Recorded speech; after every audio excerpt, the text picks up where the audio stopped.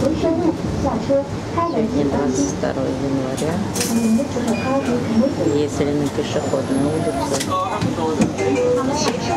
Едем на маршрутке. Проезд стоит 2 юаня. Надо отдавать ровно. Два. Сдачи тут не дают.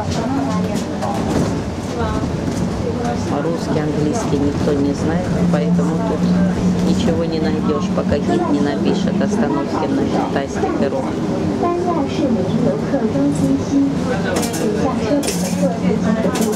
Красиво все ночью светится.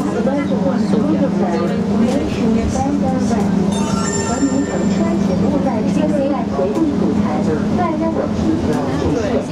Да.